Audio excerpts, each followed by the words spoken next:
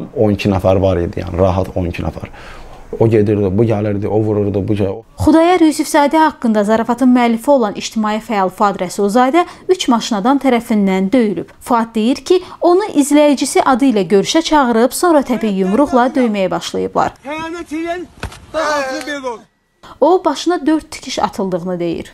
Maşın bir dənə saxladı mən ora çatanda.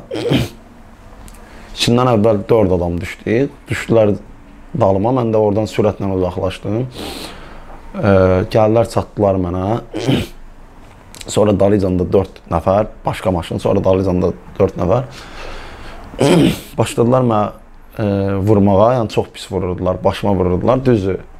Ə, soyuq silahları zadı yox idi. Ancaq yalın əl və yalın ayaqla vururdular. Mənim maşına qoymaq istəyirdilər. Mən də ki, belə bitər oradan sıyrıldım. Çox pis başladılar mənə döyməyə. Daxili İşlər Nazirliyinin məlumatına görə Fuad Rəsulzadə 2-ci Qarabağ müharibəsində həyatını itirmiş Xudayar Yusifzadənin yaxınları tərəfindən döyülüb. Xudayar Yusifzadənin qardaşı Məhəmməd Yusifzadə bildirir ki, ona statusu silməli olduğunu desələr də etməyib. Birincisi mənə o mesaj gəlməyib. Yəni ümumiyyətlə mesajlaşmamışam o insanla. İkincisi də ki, mən yəni o qədər əxlaqsız bir adam deyirəm ki, kiminsə uşağına elə deyəm ki, yəni yaxşı eləmişəm zət. Yəni bu deyə bilmərəm. Yəni hətta mən bu zarafatı belə eləyəndə yazmaq istəmədim. Dostum bu yazandan sonra buna e, kütləvi şəkildə ölüm təhdidləri gəldi. Yəni inanılmaz ölüm təhdidləri gəldi. Baxmayaraq ki, e, bir gün, iki gün keçmişdi, amma yenə ölüm təhdidləri gəldi. Mən, mən biraz vicdani cəhətdən narahat oldum ki, bu adamı öldürərlər.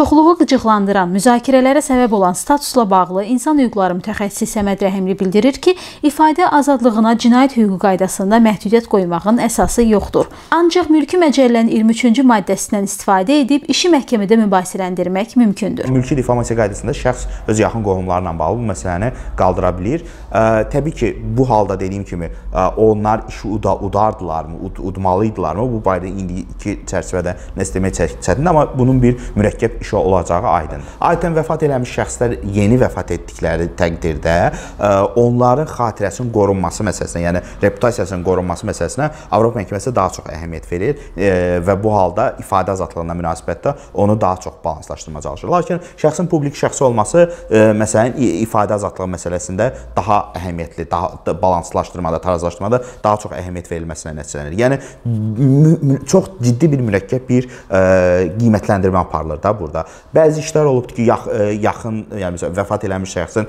xatirəsinin bu halda pozulmadığı qənaətinə gəlib Avropa məhkəməsi ifadə azadlığı işlərində. Bəzi hallarda isə vəfat eləmiş şəxsin e, xatirəsinin qorunmalı olduğunu düşüb. Fuad Rəsulzadə döyülməsi ilə bağlı şikayət verəcəyini bildirir. O, bu halların təkrarlanmaması üçün zorakılıq edənlərin cəzalanmasını istəyir. Fakta görə Cinayət Məcəlləsinin 221-ci xuliqanlıq maddəsi ilə cinayət işi açılıb.